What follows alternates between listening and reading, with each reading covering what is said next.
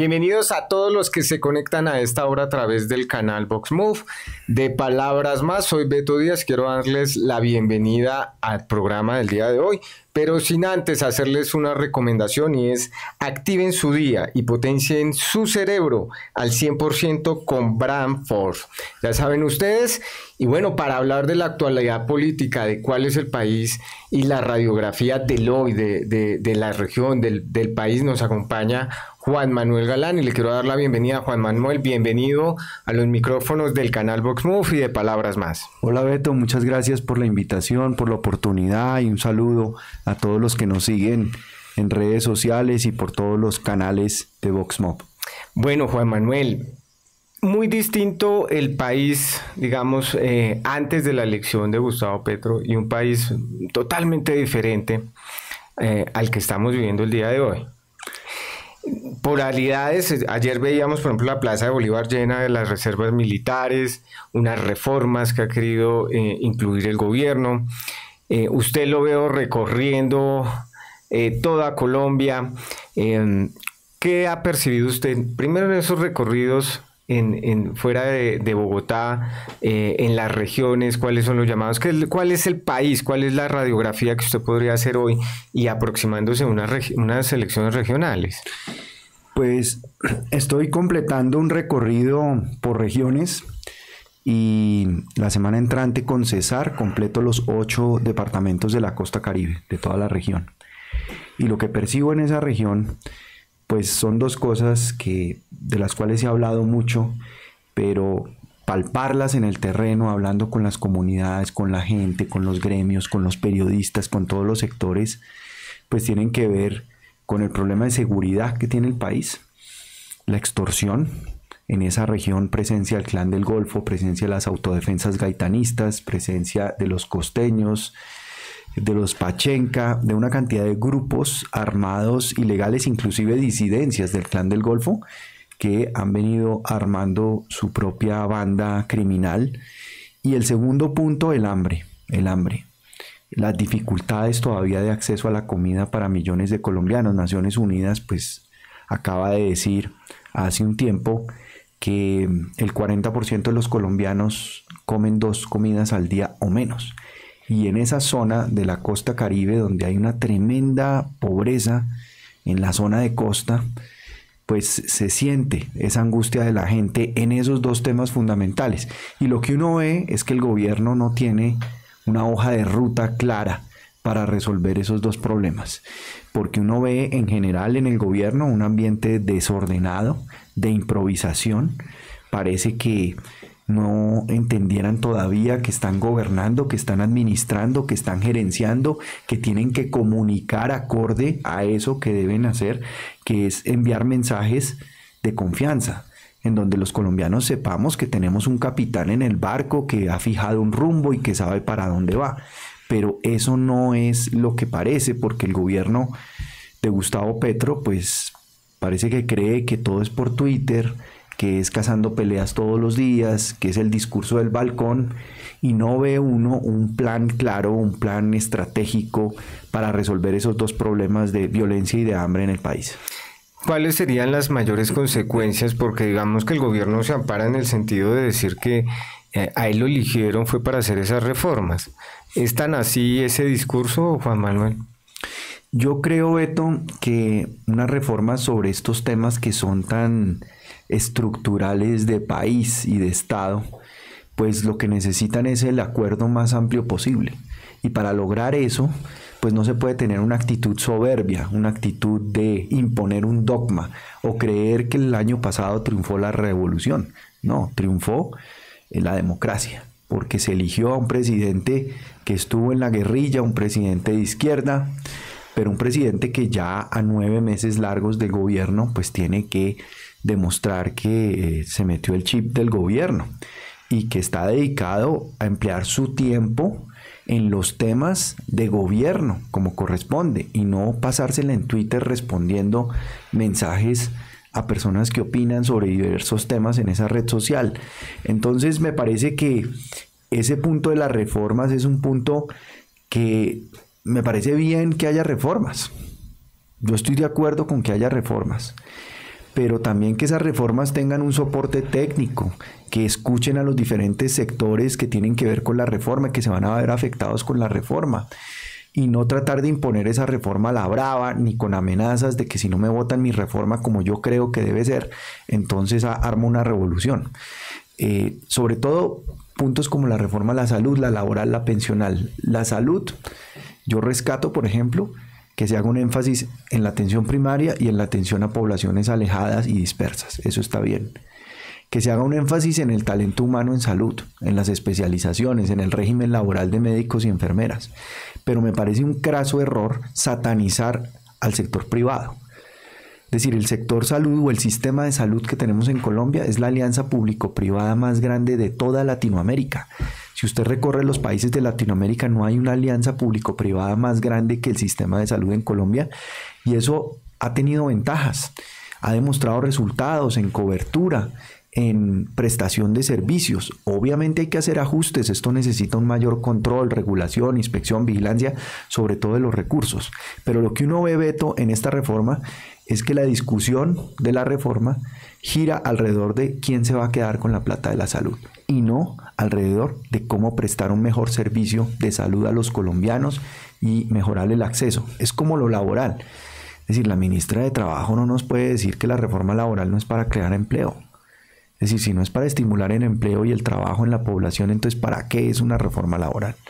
Y que, no, bueno, vamos a hablar entonces primero de la salud y yo le diría lo siguiente, evidentemente si hay un, eh, eh, digamos, diría yo, ¿quién se va a quedar con la plata? Porque evidentemente, eh, si usted mira, por ejemplo, la, esas entes privados digamos, hay sectores en la sociedad que no tienen un servicio y la pandemia evidenció evidentemente el estado, digamos, bueno, de las heces que digamos son esos hospitales públicos que estaban vueltos nada en, en esos sectores alejados y que nadie responde y digamos, las EPS no ponen allí un, un, centro de salud o un hospital digno porque, digamos, financieramente no les es viable a ellos. Entonces, ¿cómo lograr ese equilibrio por un lado? Porque evidentemente sí se necesitan unos recursos ahí y lo decía, recuerdo Luis Carlos Galán, que donde no esté el, el sector, bueno, no, eh, digamos, el, eh, hayan estas precariedades, por decirlo de alguna manera, lo voy a parafrasear, em, pues tiene que estar el Estado, ahí tiene que estar el Estado.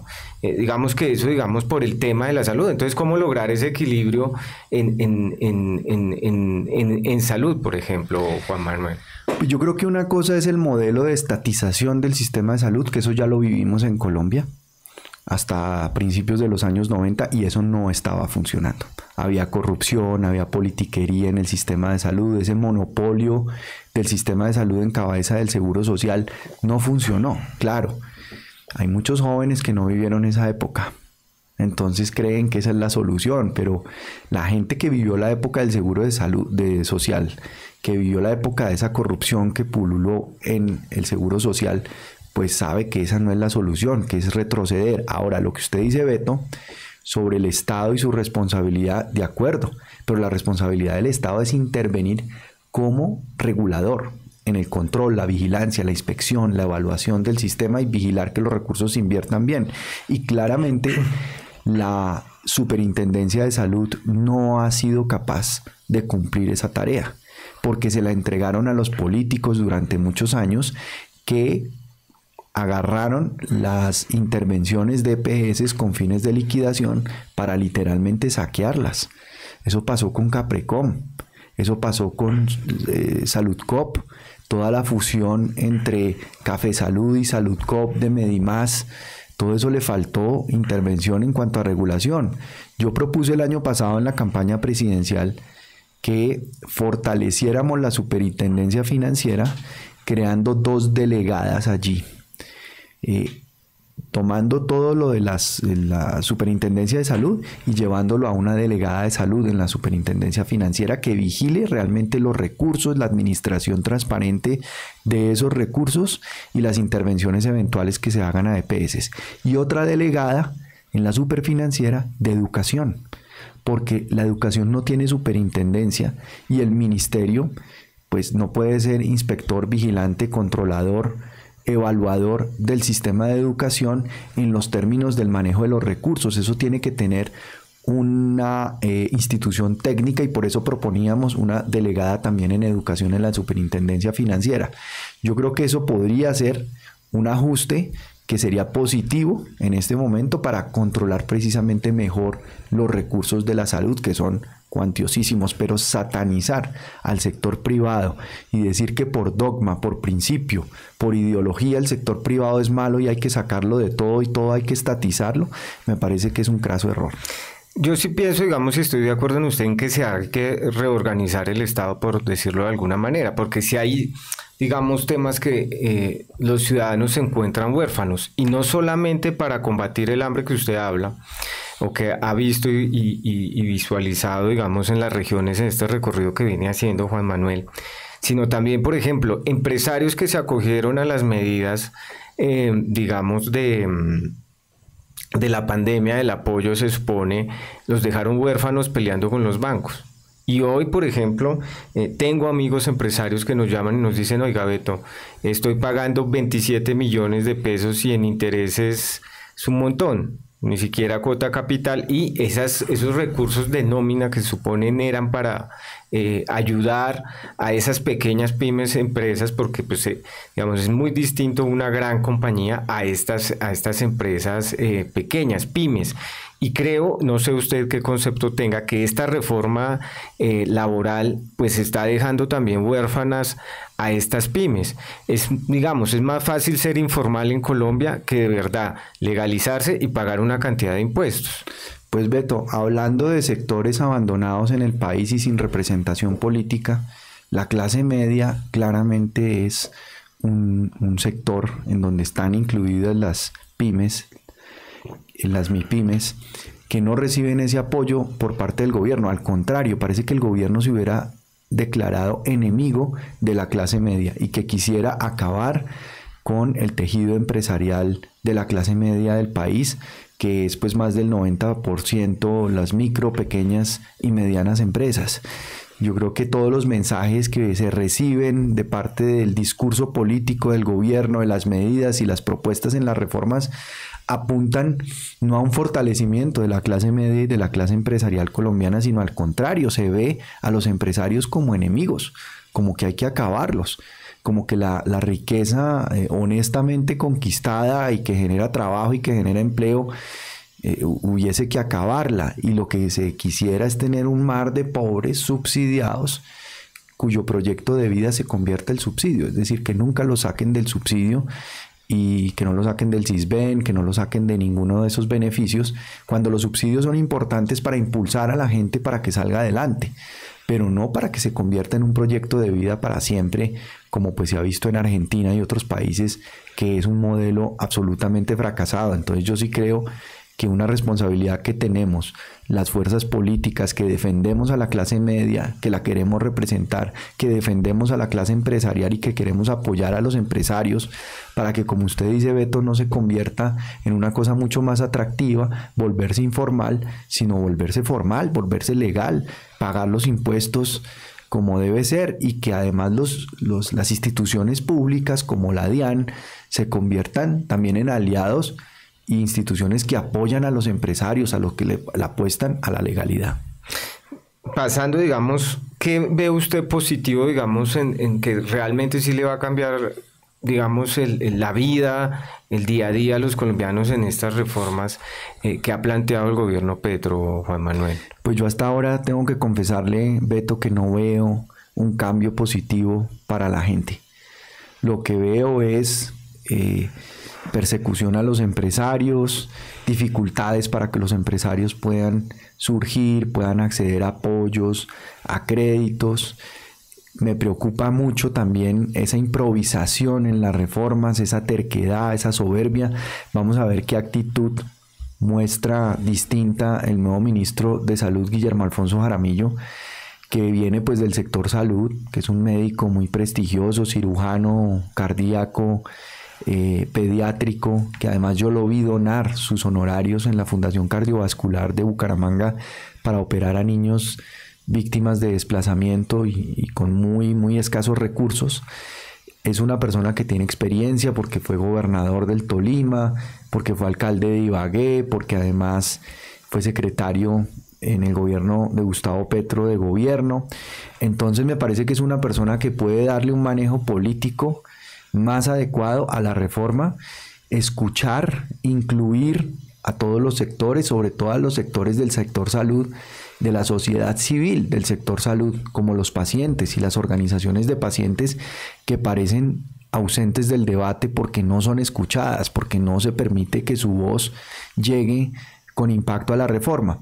Eh, yo creo que eso pues abre una ventana de oportunidad para que esa reforma pueda evolucionar y pueda construirse un acuerdo alrededor de la reforma que se vaya a hacer. Pero lo que tenemos que cumplir es, por ejemplo, la ley estatutaria de salud. Yo fui eh, ponente de la ley estatutaria de salud y en el artículo 11 introduje una eh, propuesta que quedó en el artículo 11 de la Ley Estatutaria de Salud para que las poblaciones especialmente vulnerables, madres gestantes, personas en condición de discapacidad, eh, personas víctimas de enfermedades huérfanas, pudieran tener acceso al sistema de salud sin ninguna restricción de tipo administrativo o presupuestal. Eso quedó contemplado en la ley estatutaria de salud y pasó la, la Corte Constitucional que la aprobó. Entonces uno no ve realmente cuál es el sentido de una reforma a la salud propuesta por el gobierno Petro si no es realmente ponerle control, inspección, vigilancia real al sistema de salud, fortalecer la rectoría del sistema en cabeza del Ministerio de Salud. La ministra Corcho, en estos meses que estuvo en el ministerio, sacó a todos los equipos técnicos del Ministerio de Salud, que llevaban mucho tiempo acumulando experiencia y capacidad en la administración y rectoría del sistema. Esas cosas, esos gestos, esas medidas preocupan, generan preocupación e inquietud. Dejó sin memoria histórica las instituciones, que es, digamos, muy difícil, digamos, de recuperar. Pero bueno, yo quiero pasar a otro aspecto y es el tema del nuevo liberalismo. Mm, digamos, vinieron las elecciones, ¿cierto? Eh, muchos esperaban, digamos, eh, un, digamos, un protagonismo mayor, por decirlo de alguna manera, del nuevo liberalismo. Eh, ¿Cómo o qué análisis ya en todo este tiempo que han hecho, luego de su convención también, em, queda para los militantes del nuevo liberalismo, Juan Manuel?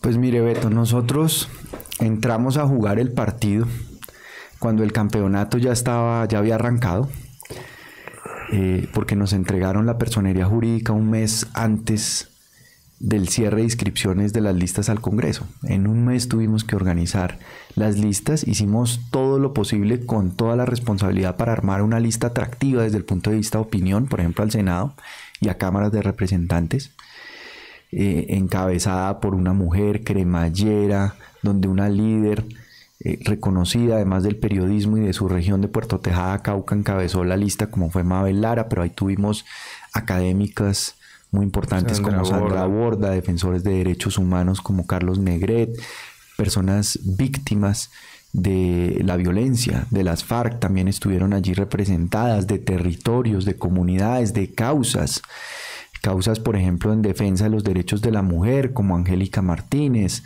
eh, causas de las personas en situación de discapacidad o en condición de discapacidad, como Jennifer Cañaveral, o también Yerly Mozo, defensora de eh, los animales.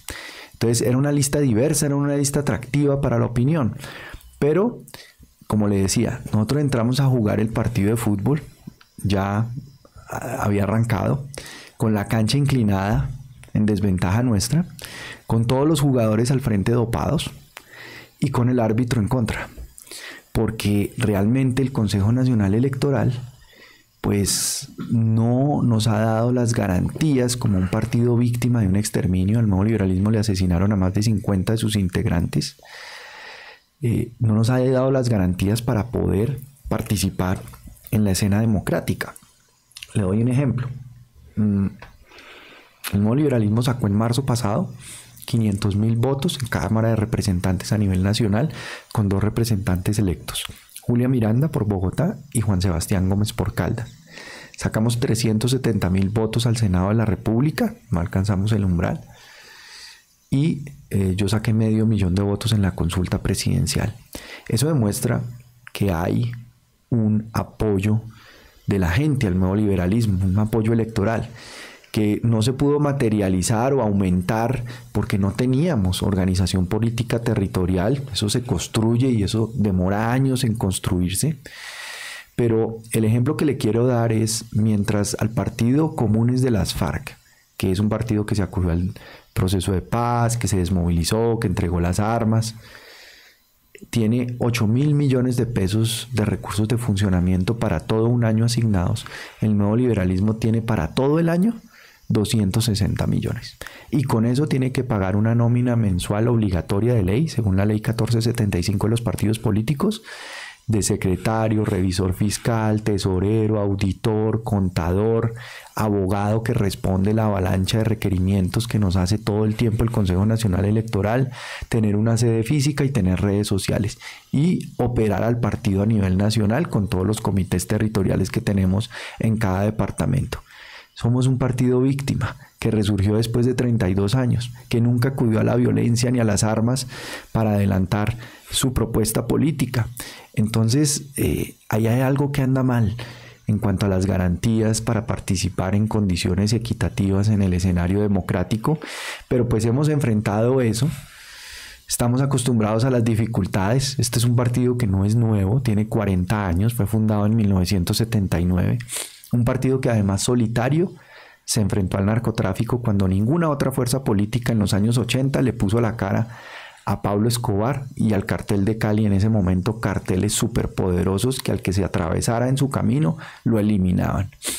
Eso lo hizo el nuevo liberalismo y eso le costó su desaparición, el asesinato de Rodrigo Lara Bonilla, el asesinato de Guillermo Cano, que era militante también del nuevo liberalismo y pues el asesinato de Luis Carlos Galán a punto de llegar a la presidencia de la República.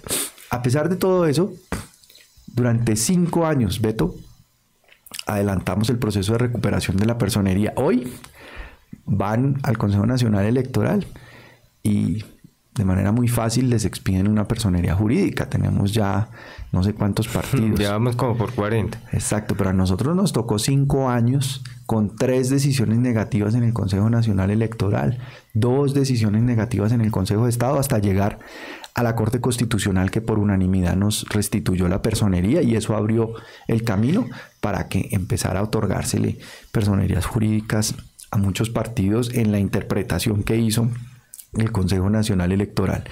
Sin embargo, nosotros siempre nos preocupamos por cumplir la sentencia de la Corte. Hicimos nuestro Congreso Nacional en noviembre del año pasado con 250 delegados de todo el país, elegidos democráticamente en 32 asambleas democráticas en los 32 departamentos. Aprobamos los estatutos nuevos, aprobamos eh, el código de ética y un procedimiento también para entregar los avales. Los avales no los entrego yo, ni los entrega Bogotá a la Dirección Nacional. Los avales tienen el procedimiento de la ruta del aval, donde todos nuestros candidatos pasan por el SARLAF, el Sistema de Prevención de Lavado de Activos y Lucha contra el Terrorismo. Paso número uno. Paso número dos, tienen que mostrar en su propuesta de campaña y planes de gobierno las ideas, los principios, los valores del partido, que estén ahí consignados en su plan de gobierno o en su propuesta de campaña, en el caso de un candidato a la alcaldía o un candidato a la gobernación. Tres, que se comprometan a apoyar nuestras listas a los consejos municipales y a las asambleas, porque la reconstrucción del partido pasa por elegir sobre todo concejales, que son la base territorial de un partido político verdaderamente democrático, no un grupo de parlamentarios ahí que se encierran en bancada y deciden quién tiene derecho a aspirar a las corporaciones públicas en las diferentes regiones. Pero entonces, si es así y es tan claro, eh, Juan Manuel, ¿por qué digamos tantas críticas? Incluso el mismo, eh, bueno, en su momento Rodrigo Lara que se fue, ¿cierto?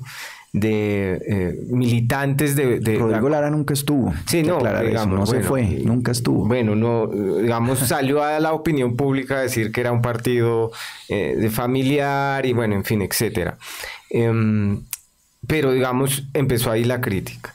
Luego militantes como eh, José David Castellanos salen también de, de, de, digamos, de sus filas, por decirlo, o ese jugador eh, que estuvo ahí, también salió. Eh, es decir, como que se pregunta si eso está tan claro, tan así, ¿por qué se ve, por ejemplo, esto de José David Castellanos? Eh, y también, digamos, eh, ¿qué pasó con esos jugadores como Mabel Lara, que después terminó, eh, Yolanda también terminaron en el, digamos, apoyando a Gustavo Petro, Negret, inmediatamente pareciese, es decir, como que el mensaje que se vio fue, oiga, esta gente como que está ya rota adentro, pues fue lo que quedó afuera. Para los que no estamos dentro de, digamos, de, de, o desconocemos lo que está pasando en esa realidad del nuevo liberalismo.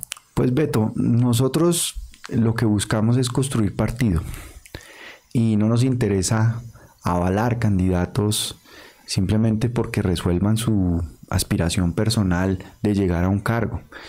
Nosotros realmente eh, hemos querido que el proceso de la entrega de los avales y por eso el procedimiento de la ruta del aval, que me faltaron ahí dos puntos, las líneas rojas de con quién no nos vamos a aliar y una capacitación sobre la historia de 40 años del nuevo liberalismo. Entonces, cuando hicimos la lista al Senado, invitamos a esas personas que usted mencionó, nosotros las invitamos a construir partido. Y construir partido también significa respetar la institucionalidad del partido, respetar las reglas de juego y la democracia interna. Nosotros jamás eh, tomamos una decisión en la campaña pasada sacada del sombrero y sorprendimos a los militantes y a los sectores del partido. Nosotros, para tomar todas nuestras decisiones, hicimos consultas, hicimos reuniones virtuales, presenciales, donde escuchamos a todo el mundo y las posiciones mayoritarias del partido fueron las que se acogieron en un momento dado para tomar decisiones. Y pues si uno está en un partido, pues uno tiene que estar en las buenas, en las malas y tiene que ser disciplinado. Y muchas veces, muchas veces el partido como partido, como institución, puede tomar decisiones que uno no comparte, pero uno pues se mantiene en el partido, porque pues uno no puede hacer lo que quiera siempre o lo que le convenga siempre, sino lo que le conviene al equipo, lo que conviene a la construcción del partido. Pero así como han salido personas, han entrado nuevas personas. Y los recorridos que he hecho en los territorios ha sido precisamente para identificar esos liderazgos locales, territoriales, que tengan un genuino y sincero interés en construir una nueva manera de hacer política, en no pasarse de un partido para otro, entrar, salir, sino realmente apostarle a una idea, a una causa, a una propuesta, defenderla con integridad, con sinceridad, eh, eh, pensando que esto es un proceso de construcción que toma tiempo. Eh, algunos de los que se fueron han regresado, por ejemplo Guillermo Pérez, que fue candidato también nuestro al Senado, pues está regresando al nuevo liberalismo. Yo he sostenido diálogos con muchos de ellos. Les he dicho que las puertas del partido están abiertas para quienes quieran venir precisamente a construir partido, a construir equipo. Y en eso estamos, Beto. ¿Qué tan fácil es? Porque, digamos, Mire, usted nos cuenta esta experiencia que es nueva, me imagino, director del Partido del Nuevo Liberalismo, armar todo este tema, que lo feo, que lo malo, que lo bueno, en fin, todo pasa por ese lado. Pero mire que también se juzga, por ejemplo, a los, a los presidentes de los otros partidos. Hablo, por ejemplo, de los de la coalición de, del presidente Petro que se están yendo. Entonces, Dilian Francisca, em, el Partido Conservador con Efraín Cepeda, eh, Gaviria con el, con el liberalismo. Em, que también dicen, oiga, hay que tener como una disciplina de partido, hay que, digamos, todo este ejercicio, ¿qué tan fácil ha sido y le ha resultado a usted? Porque uno termina, digamos, eh, juzgando, digamos, de, cierta manera, oiga, es que esa casa Gaviria, por decirlo de alguna manera, en lo que se volvió el partido eh, liberal, que Fray Cepeda, que los principios, em, y bueno, ahora a Dilian le dicen que no, que se va a lanzar a la gobernación y que, bueno, en fin, etcétera, etcétera. ¿Qué tan fácil es lograr consensos, porque mire lo que usted dice, se van unos, llegan otros. ¿Qué tan fácil es asumir esas responsabilidades, Juan Manuel? Pues creo que cuando uno está en un partido porque cree en su programa, en su propuesta, en su raíz filosófica, ideológica, en las posturas de carácter liberal que nosotros también hemos asumido con obras, con hechos, por ejemplo, haber sacado adelante la ley que regula el uso medicinal de la marihuana en el 2016, de la cual fui autor y fui ponente, la ley 1787 de 2016. Yo creo que el rechazo también que sienten los ciudadanos por los partidos es que no ven realmente que sean partidos políticos democráticos, que cumplan con la función que cumple un partido político en una democracia como institución, que es interpretar a la sociedad y que la sociedad se sienta interpretada por ella.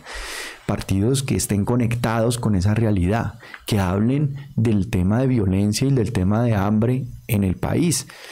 Los ven es preocupados por la mecánica, por los avales, por los candidatos, por las cuotas de poder, por si van a tener ministerio o no van a tener ministerio. Es decir, y eso es lo que genera ese rechazo y esa desconfianza de los ciudadanos que ven a políticos aglomerados en una organización que es como una confederación, no es un partido político realmente, es una unión de grupos y de microempresas electorales en donde, por ejemplo, la lista abierta, yo concuerdo, pues ha favorecido esa eh, fracción, ese fraccionamiento y ese desarrollo de facciones al interior de los partidos políticos. La lista única que nosotros tuvimos, lista cerrada, lista cremallera encabezada por una mujer, pues enviaba un mensaje precisamente de que nosotros queríamos construir partido y que aquí todos éramos un equipo empujando para lo mismo y no cada uno ahí dándose codazos y mirando cómo saca tajadas de poder. El nuevo liberalismo lleva 40 años de historia, pero nunca ha llegado al poder, nunca ha gobernado. Ha tenido posiciones muy importantes en el Congreso de la República, en los consejos municipales, en las asambleas.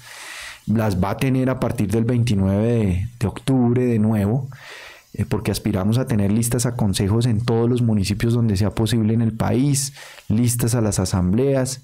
Queremos también que los candidatos a las alcaldías y a las gobernaciones que se avalen por el nuevo liberalismo se avalen con el aval principal del nuevo liberalismo, para que nosotros no estemos en una colcha de retazos, de un reguero de logos que no le dicen nada a la gente, pero además que le dicen a la gente esto es lo mismo de lo mismo. Y nosotros queremos realmente mostrar y demostrar que no somos lo mismo, que estamos en contra de la política tradicional, en contra de la esclavitud clientelista y la esclavitud centralista que tiene en una situación indigna y de atraso y de rezago histórico social a las regiones y a los territorios en nuestro país. Es decir, que digamos en Bogotá, digamos particularmente, no se quiere, se quiere ir solo con un candidato sin alianzas con los demás partidos. No, nosotros queremos hacer alianzas porque pues la unión hace la fuerza y el país, si estamos hablando de consensos, si estamos hablando de trabajar unidos, pues hay que buscar fuerzas afines, fuerzas que defiendan estos valores, estos principios, estas ideas que lleva militando hace 40 años el nuevo liberalismo, pero que por razón de la violencia salió del juego democrático y lo exterminaron, pero que ahora resurge, pues queremos obviamente buscar alianzas, por ejemplo, Dignidad y Compromiso es una organización, un partido político con el que tenemos afinidades en muchas cosas y en donde estamos empezando a conversar para mirar en qué regiones podemos trabajar unidos, eventualmente en una lista de coalición a Consejo Municipal, en una lista de coalición a Asamblea o coavalar a un eh, candidato a la alcaldía o a un candidato a la gobernación. Yo creo que de eso se trata, pero tampoco de sentarse uno sobre el púlpito o el, eh, pedestal moral eh, a decir, no, es que nosotros somos los puros, los castos, los buenos, y allá están los sucios, los malos, los perversos, y nosotros somos otra cosa. No, realmente en la política hay gente valiosa que ha estado en los partidos políticos pero que no ha encontrado espacio para defender sus ideas y que no ha podido surgir, progresar, hacer una carrera política con garantías. Y nosotros queremos que el nuevo liberalismo sea ese espacio. ¿Cómo se hace entonces ese equilibrio, digamos, entre esa política de ideas y esa política burocrática, por decirlo, de, no sé, o tradicional, por decirlo de alguna manera, porque muchos de los que juzgaron al nuevo liberalismo decían, pues es que pusieron gente que no trae votos, pusieron gente de no sé qué. Entonces, pues uno, siento que lo que ustedes trataron de hacer fue priorizar unas ideas, pero... Em, pues ganó la política tradicional. Entonces, e, es tan así que hoy Nicolás Petro tiene eh, allá unos conflictos eh, en, Barranquilla, bueno, en la costa. Em, entonces uno dice, ¿cómo uno prioriza esas, esas ideas y que realmente se pueda hacer una, una, campaña con ideas? Mire, eh, Juan Carlos Flores, que fue concejal de Bogotá, se lanzó y con su candidato también a la Cámara, que era cero, eh, bueno, con cero plata, bueno, cero costo, creo que era que se llamaba la campaña. Eh, perdieron. Ustedes trataron de hacer una campaña de ideas eh, trayendo en ese momento, digamos, unos jugadores interesantes, Mabel Lara, Sandra Borda, gente preparada. Y también se perdió, digamos, pues no se alcanzó el resultado pronto que se quería, porque digamos que se, lograron dos curules, pero pues digamos se esperaba un poco más.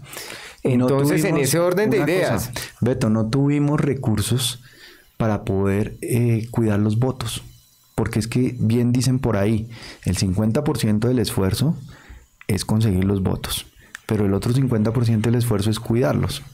El pacto histórico tenía toda una infraestructura que les permitió rescatar en el escrutinio 600 mil votos, cuatro curules nada menos. Si nosotros hubiésemos tenido esa capacidad, ese tiempo, esos recursos para haber armado un proceso de, cuidado de los votos, probablemente habríamos sacado el umbral en la lista de Senado. Eh, es más, le cuento una cosa. La Corte Constitucional hace dos meses votó en sala plena un auto en el que se declaró competente para el incidente de desacato que nosotros presentamos eh, sobre la sentencia de la propia Corte Constitucional y ya votó un fallo en donde ordena que el nuevo liberalismo pues, pueda tener las garantías que debe tener y se aplique una interpretación adecuada del umbral. Porque es que mire lo que nos pasó, Beto. ¿Qué dijo el Consejo Nacional Electoral? Ah, ellos no cumplieron el umbral. Entonces eso significa que no tienen los recursos de funcionamiento que tendrían por cumplir el umbral, eh, que pues tampoco tienen la asignación de curules, pero pues mantuvimos la personería jurídica. Entonces nosotros qué decimos, mire, se está desacatando la sentencia de la Corte Constitucional, porque ¿qué dijo la sentencia? Que nosotros para la primera elección que participásemos el año pasado no teníamos que cumplir el umbral. Además, el Consejo Nacional Electoral dijo que éramos un partido nuevo y no somos un partido nuevo. En 1986, el nuevo liberalismo eligió senadores y representantes a la Cámara, entre ellos a mi padre, a Luis Carlos Galán, que llegó al Senado en 1986 por el nuevo liberalismo. No somos un partido nuevo pero además teníamos una excepción para cumplir con el umbral en la primera elección. Y eso aplica para todos los efectos del umbral, no solo para mantener la personería jurídica, sino también para la asignación de recursos de funcionamiento y para la distribución de las curules. Pero entonces ahí sí sale algo, Juan Manuel, y es se necesita plata para hacer política. Y entonces sí van en ventaja muchos em, que Ese tema que usted es fundamental. Porque, es que es lo que yo digo, ahorita muchos van a volver a hacer el ejercicio, Juan Manuel, y seguramente de pronto ustedes van a continuar con su mm, digamos, política, por decirlo de alguna manera, de que sus avales, bueno, sus cinco cosas que nos mencionó, como las cinco requisitos, en fin, pero digamos, van a continuar, digamos, en su línea. Em, pero pues si no hay recursos, si no hay ese tipo de cosas, eh, pues ¿qué va, ¿qué va a pasar? Seguramente...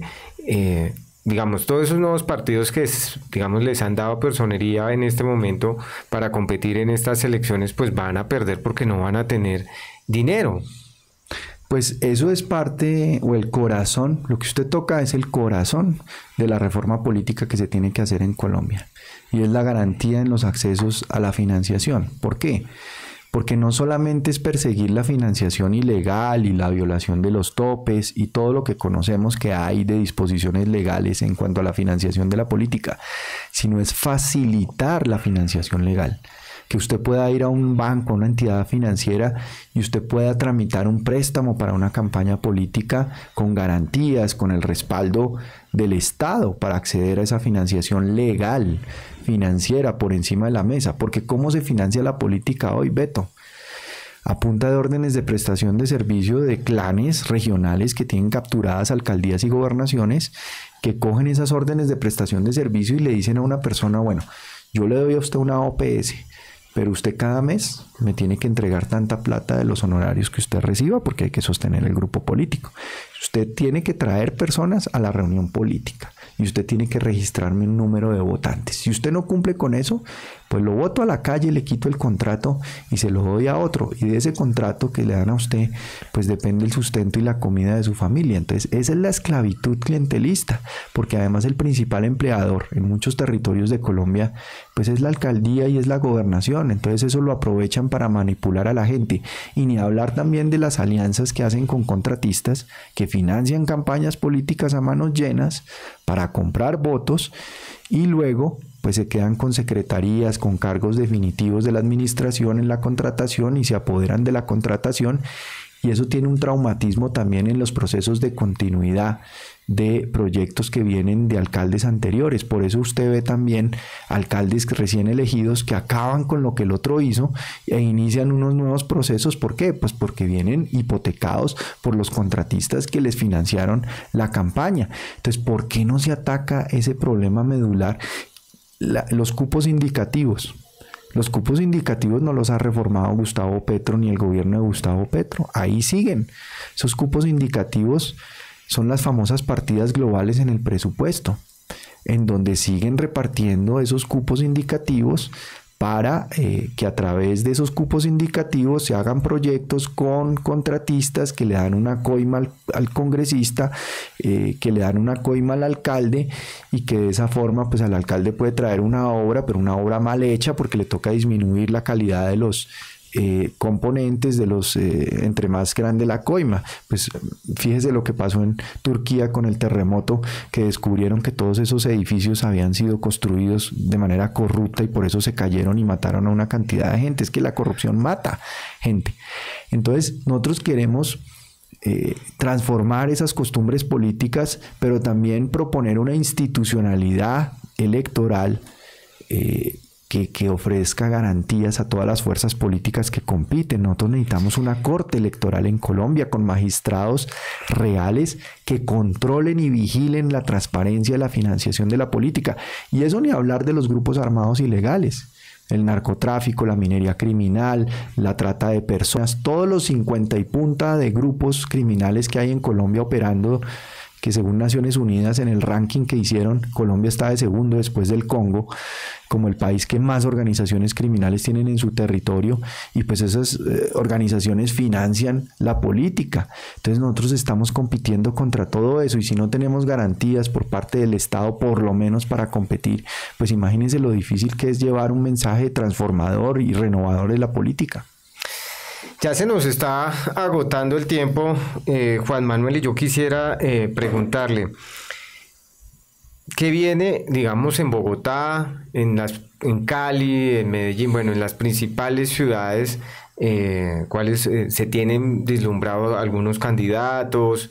Em, en fin, ¿qué, ¿cuál es el, como el panorama para darle a la audiencia que se conecta? Nos están escribiendo desde Montreal, nos están escribiendo Barranquilla, Putumayo, gente de nuevo liberalismo, bueno, por todos lados nos, nos están escribiendo.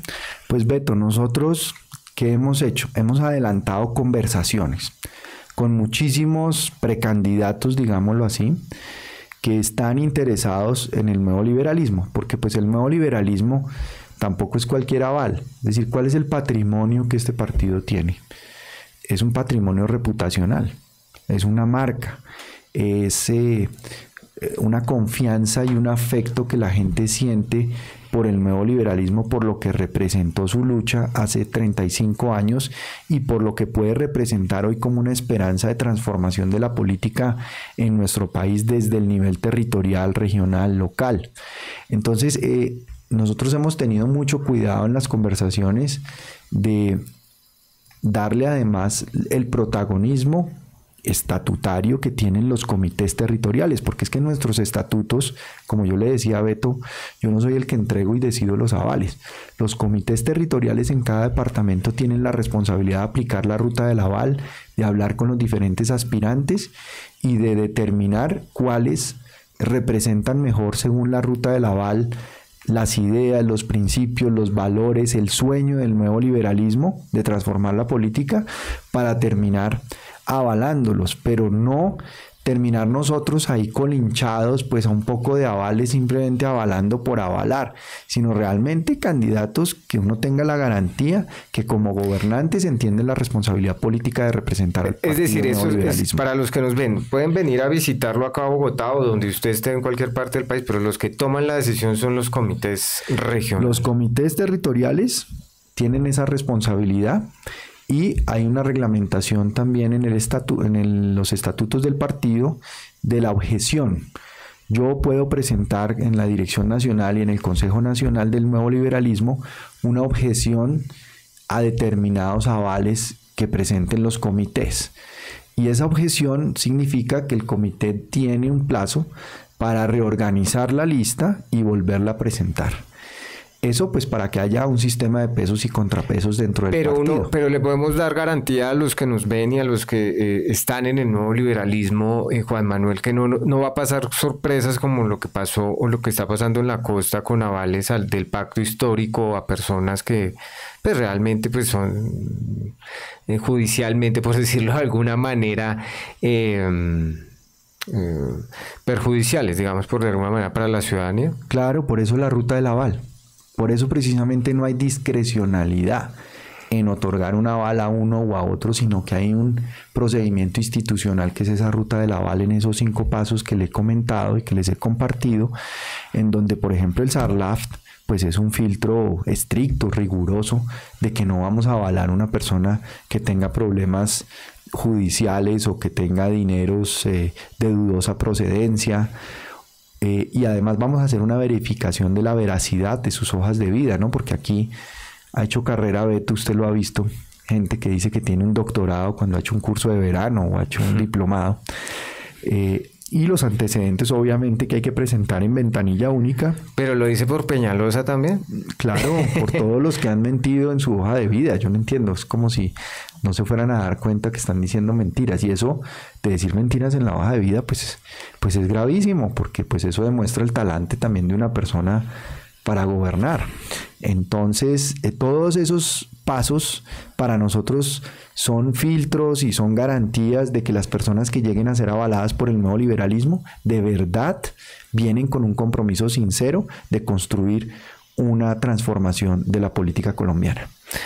Bueno, entonces esperemos que, digamos, en esos, esos, esos parámetros, esas reglas que ustedes están poniendo, pues sean estrictas en ese sentido, por lo mismo que le digo, es que estaba buscando cómo era el, el, candidato que estaba apoyando Nicolás Petro, se me va el nombre, no lo encontré.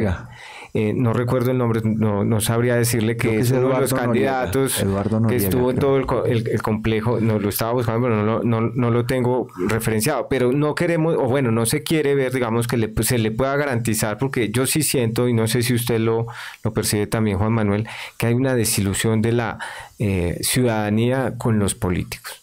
y esto, ¿por qué? Porque hay una oposición que también está muy débil. Es una oposición que está cayendo en lugares comunes, eh, que no están haciendo investigaciones de fondo realmente. Y creo que ahí eh, pues la ciudadanía está, o, los mismos políticos están abriendo para que eh, lleguen personajes distintos a la política. se, se puede colar un Trump se puede colar un tron en cualquier momento en, pues Colombia. Ya, lo hemos visto en muchas ciudades de Colombia también, de la antipolítica que termina siendo peor que la politiquería, la antipolítica. Entonces lo que hay que hacer es política buena, de la buena política, de la política que sirve a la ciudadanía para construir soluciones a sus problemáticas y en eso también estamos nosotros. Vamos a hacer un encuentro programático en Río Negro, Antioquia, porque nuestra raíz filosófica es la constitución de 1863 de Río Negro de los Estados Unidos de Colombia, eh, en donde se planteó una Colombia federal. Yo creo que ese debate hay que abrirlo en Colombia sobre una organización distinta porque lo que tenemos, no por Gustavo Petro, sino por la institución misma, es una monarquía presidencial todo pasa por la Casa de Nariño. No llegan recursos a las regiones, no llegan regalías si la Casa de Nariño y el gobierno nacional y central no lo determina así. Eh, ¿Qué saben, por ejemplo, eh, los funcionarios que trabajan en Bogotá, en el gobierno central, de un territorio como Sucre, que en pleno siglo XXI no tiene agua potable sus municipios?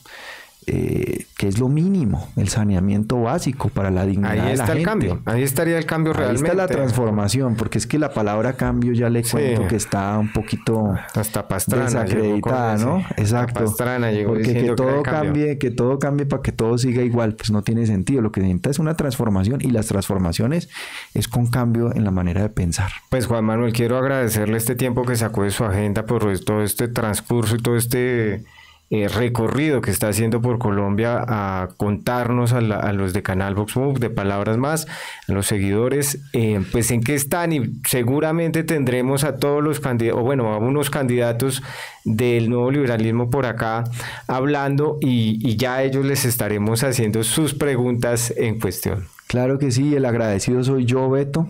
Qué pena el incumplimiento de la cita pasada y, la demora en, en, concretar esta conversación que siempre es eh, motivo de satisfacción para mí, muy enriquecedora y pues le agradezco mucho la invitación y la oportunidad de compartir con todos los seguidores de VoxMob y de Palabras Más. A usted muchísimas gracias Juan Manuel y a todos los que se conectaron a nuestro Facebook Live, eh, muchísimas gracias a todos los que estuvieron por el Instagram Live del canal VoxMove, muchas gracias también por su conexión. Recuerden que en horas de la tarde estará esta entrevista en YouTube para que la puedan compartir. A todos muchísimas gracias y nos vemos en, una, en un próximo programa. Chao pues.